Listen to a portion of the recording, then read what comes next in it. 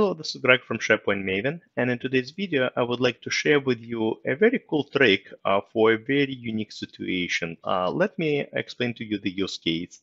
So here I have a Microsoft team and obviously Microsoft Teams. And essentially, I have a few channels here, a few standard channels, and I have a private channel and a shared channel. And each of those channels, I have a few documents, all right? So if I click on the Files tab, you will notice that I have a few documents, you know, different documents in uh, different types of channels that I have here, all right? And now I want to search all of these channels at once. Essentially, I want to find the files located in any of those channels.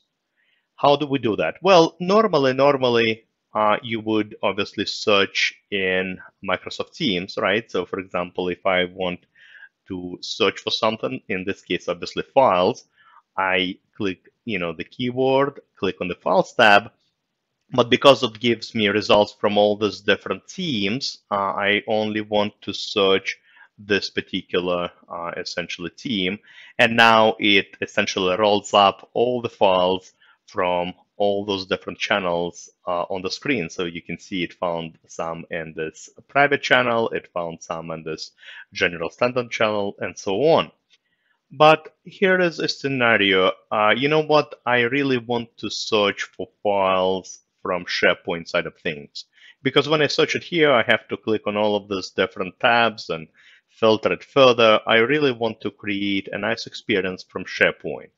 But here is an issue. From SharePoint side of things, we don't have just one site where we execute the search. Because remember, here I have a mix of standard channels and private channel and the shared channel. So this translates to multiple sites in SharePoint. So here's the parent site uh, that essentially is part of Microsoft Teams. That's where the standard channels are. And then here I have a site, a separate site that was created for a private channel. And here is a site that was created for a shared channel. So essentially, all my documents are now located on three different sites. How do we search them all? Well, let me show you the trick. And I'll show you something actually nice happening when you use that trick. So in order for us to search all the sites at once, we need to create a hub. Because by default, if you notice, right, each site has its own search box, but it only searches essentially the documents on this particular site. So once again, if I navigate, for example, to the private site, uh, the private channel site, once again, if I uh, you know, do a search, it will only show me results from that particular private channel site. I want to search it all across, you know, these three sites in our case. So here's what we need to do. We need to utilize the hub functionality. What we need to do is navigate to the admin center and obviously you need to be a SharePoint admin to do that. And essentially next we just click on the SharePoint admin center. And once that loads, uh, let's navigate to the site and we need to find our site over here. All right, and it shows me it has uh, essentially uh, two you know, teams uh, sites as well, the private channel site and shared channel site. Uh, but let's go ahead and instead of looking at them, what we're going to do is register this parent site as a hub. All right, so uh, let's leave the name alone. That's totally fine. And let's click save. But here is something cool that will happen once you register a site as a hub. So let me refresh my screen here. I'm on my parent site. Uh, look at this. The hub was created, right? We got that hub navigation menu. But usually what you need to do when you register a site as a hub, next you need to go back to Admin Center and associate other sites to that hub. This is not the case with those channel sites.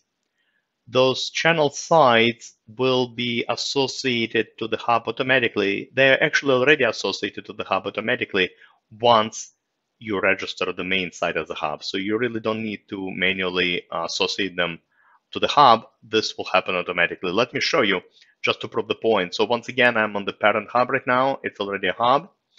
I'm going to navigate to my private channel site and I'm going to refresh the screen and look at this. My site is now part of that hub. You see the theme from that parent hub, the navigation menu, the hub navigation menu got inherited. So uh, this site automatically, this private channel site is now part of the hub. And the same thing will happen to the shared channel side. I just refresh my screen and once again, uh, it inherits the theme as well as the hub navigation. So you don't really need to associate all those sites to the hub. You just literally register the main site as the hub and those sites will be automatically uh, associated to that hub. The only thing that you will need to do, if you notice, right, those sites do not appear in the navigation. So if you do need to have them in the navigation, then you will need to go to the parent, you know, hub and essentially add those links manually. Uh, but that's not what we need here. But now you will notice it says search across sites. And now when I execute a search here, uh, it will now search this main site as well as uh, the other channel sites as well it's probably not going to give me any results now because uh, we have to wait, right? Uh, essentially, I just registered the site as a hub, so it might take a half an hour an hour uh, for it to recognize those sites. So that's all I really wanted to show you in this particular video. Hopefully you learned something new. As always, happy to see you on my blog, sharepointmaven.com, as well as my YouTube channel. Thank you very much. Have a great rest of the day. Goodbye.